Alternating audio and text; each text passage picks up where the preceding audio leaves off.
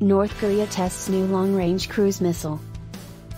North Korea has conducted a test of a new long range cruise missile capable of striking much of Japan, according to official media. According to the official KCNA news agency, missiles flew up to 1,500 kilometers, 930 miles, during the weekend testing. It implies that, despite food shortages and an economic crisis, North Korea is still capable of building weapons. The newest tests, according to the US military, posed a threat to the international community, and Japan expressed serious worry. An image published in the North Korean Rodong Sinmun newspaper shows a missile being launched from a launch vehicle and another flying horizontally. The missiles are a strategic weapon of great significance, the KCNA agency said. The tests were conducted on Saturday and Sunday, with the missiles hitting their targets before landing into North Korean territorial waters, according to the report.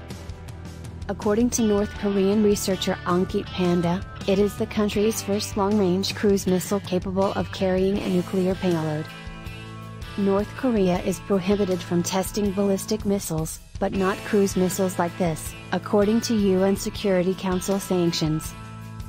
Ballistic missiles, according to the Council, are more dangerous than cruise missiles because they may carry larger and more potent payloads, have a considerably greater range, and fly quicker.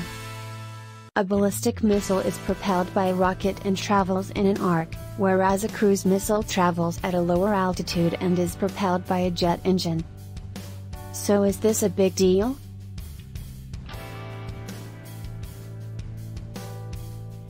The reason some may shrug this missile test off is because it was a cruise missile.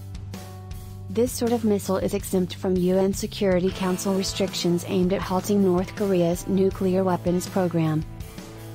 Some may interpret this as Pyongyang's low level provocation, testing the waters to see what reaction it may elicit. It didn't make the front page of South Korea's newspaper, and it didn't make the front page of North Korea's state publication. The issue is that, despite being subject to harsh international sanctions, North Korea is once again demonstrating its ability to build new and lethal weapons.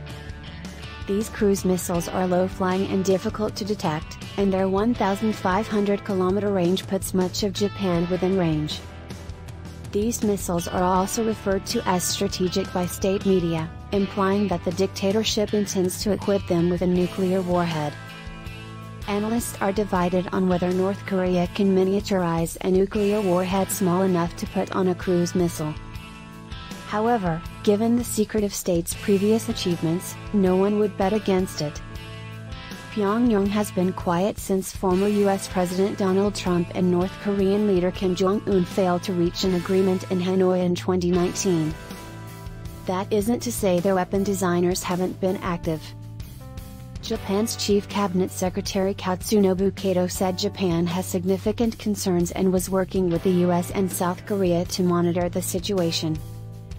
Meanwhile, the US military said the test demonstrated North Korea's continued focus on improving its military program, as well as its resolve to defending allies South Korea and Japan. North Korea has been urged by the United States to give up its nuclear weapons, and Pyongyang's relationship with President Joe Biden's administration has been tense thus far. Japan and North Korea have long-standing tensions stemming from Japan's 35-year colonization of Korea, Pyongyang's pursuit of nuclear and missile programs, and Pyongyang's abduction of Japanese people in the past. North Korea spent more than a year in isolation due to pandemic, with the Chinese border closed,